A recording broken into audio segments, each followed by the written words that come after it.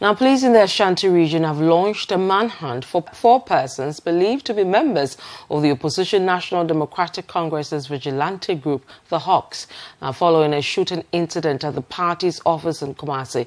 The police have confirmed the death of one person, with the other in critical condition at the Komfo Teaching Hospital. The police say they are working with both the national and regional executives of the party to get the suspects arrested.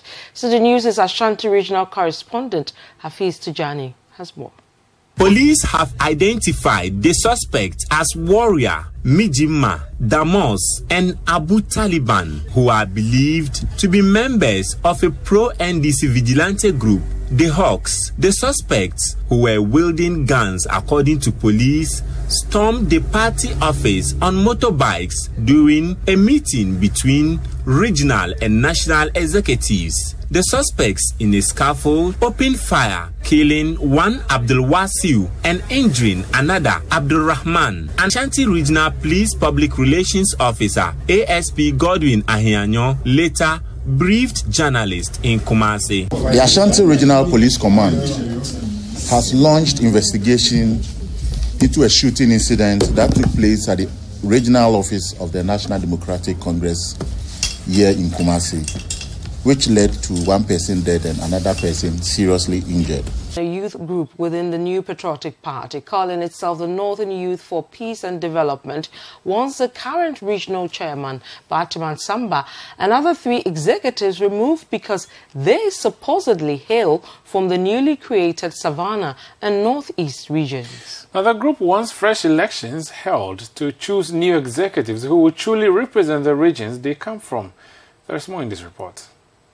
Although the six newly created regions are only a few days old, the clamor for the realignment of positions is beginning to rear its head.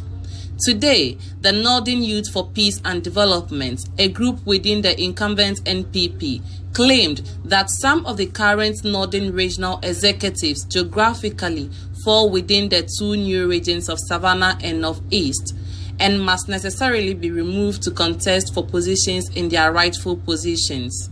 They mentioned the Northern Regional Chairman, Batima Samba, the Regional Secretary, Sule Sambian, Deputy Regional Secretary, Haruna Idrisu, and the Communications Director, Mohamed Isa. Addressing a press conference in Tamale, spokesperson for the group, Anyaz Ghazali, said their continuous stay in office will mar the smooth administration of party affairs in the northern region. He also explained that some of the executives are adamant to move to their regions, hence they are called on the president and the national party executives to ensure these individuals leave their current positions as northern regional executives. On his side, the northern regional NPP chairman, Batima Samba, however, said he is not moving. I'm not moving.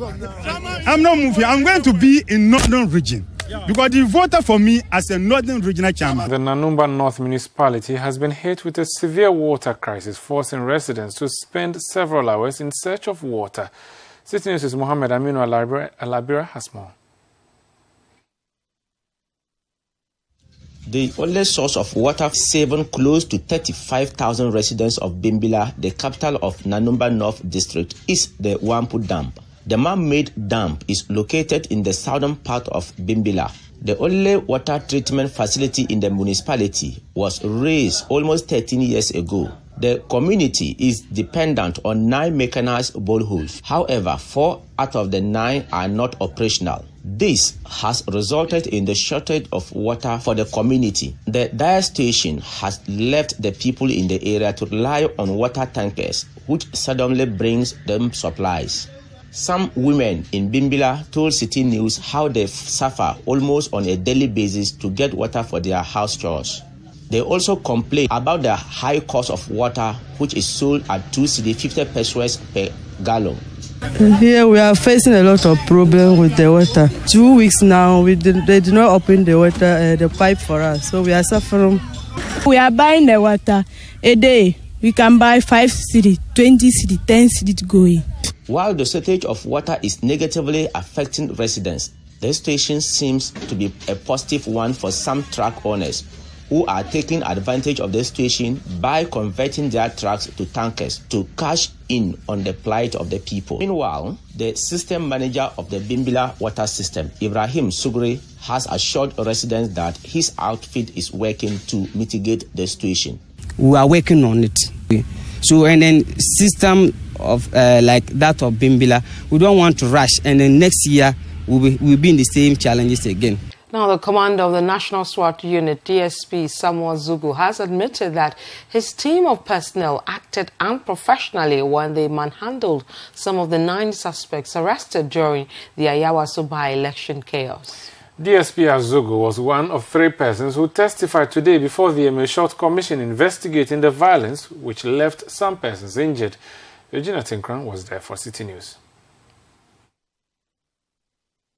Taking his turn today, Commander of the SWAT unit at the National Security Secretariat, DSP Samuel Azugu, narrated to the Commission the basis for their deployment, which he said was on intelligence gathered. While admitting that the security operatives who assaulted the MP4 Ningo Pram Sam George, had been identified, he did not publicly reveal his identity and the circumstances which led to the attack. It was through the audiovisuals that I saw that I, uh, I saw that um, one of my boys allegedly assaulted. During questioning by the commission, DSP Azugu admitted that the men under his command acted unprofessionally in the way they handled the arrest.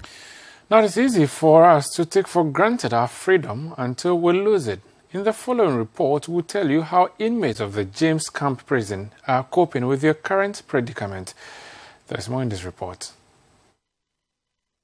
For these inmates here, they enjoyed total freedom some five to ten years ago as they went about their day to day activities.